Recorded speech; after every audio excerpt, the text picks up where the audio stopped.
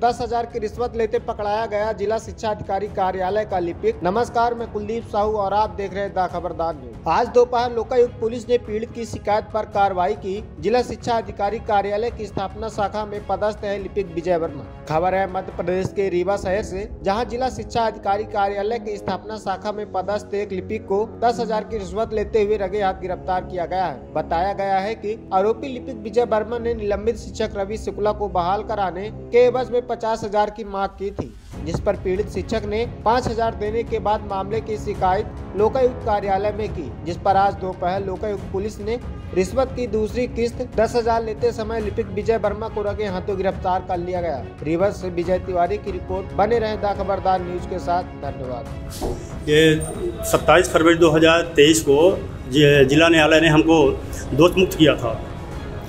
तो दोष मुक्त के बाद हम नकल निकलवा करके मार्च में यहाँ आगे कलेक्टर साहब को जिला न्यायालय जिला कलेक्टर साहब को और जेडी साहब को और जिला शिक्षा अधिकारी के यहाँ हमने आवेदन दिया कब तीन तीन चार बार दिया आवेदन।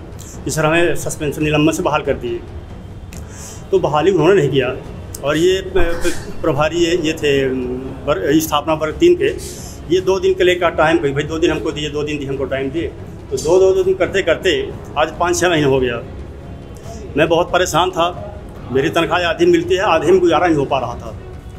मजबूरन हमको ये सभी काम करना पड़ा। क्या नाम है इनका? नाम है विजय शर्मा स्थापना तीन।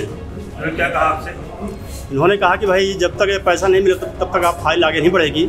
साहब को भी देना पड़ता है और हमको देना ही पड़ता है। तो इन्होंने पचास हज़ार का कागज़ में लिख करके हमको पचास हज़ार ऐसे लिखा था। हमने कहा सर हमने कहा ठीक है सर। हम शाम को चले आए तो पैसा लेके पाँच हज़ार हम गए। कि सर ये पाँच हज़ार लाए हैं आपने, सर पाँच हज़ार कहा था? तो बोले, पाँच नहीं, पचास हज़ार हमने कहा था, कागज़ कर दिया था। तो हमने कहा, सर हमको तो शायद आँख का पावर हमारा बढ़ गया है, हमको नहीं दिखा कि पाँच हज़ार है, पचास हज़ार है। सर पाँच हज़ार लाए तो रख लीजिए आप शेष पैसा हम आपको कल दे देंगे। तो आज जा करके दस हज़ार रुपये दिए और हमने कहा कि सर इसको कर दीजिए, बाकी जो पैसा है वो हम किस्तों में आपको दे देंगे। मेरे पास एक अच्छा पैसा है नहीं, सर। इसमें क्या डीओ की भी हिस्सेदारी थी, क्या मांगे थे लोगों वो वो कहते हैं कि डीओ को भी देना अधिकारियों को भी देना पड़ता है अधिकारी लिए फ़ाइल में दस्तखत नहीं करते हैं। काहे के लिए आपको सजा वो न्यायालय में आपका ये दो इक्कीस सितंबर 2013 में यहाँ जो जिला शिक्षा अधिकारी उदय भान पटेल जी थे उन्होंने हमको ऐसे ही रंजिशन हमारे खिलाफ एफ़ आई आर कर दिया था। रायपुर थाना में हमारे खिलाफ एफ़ आई आर कराया और हम, मुकदमा पंजीबद्ध कर माने वो हो गया एफ़ आई आर हो गया। और पुलिस से हम, जब हमको ये पुलिस उठा ले गई तो हम फरार हो गए। फरार दो तीन महीने बाद हमारी जमानत हुई हाई कोर्ट से।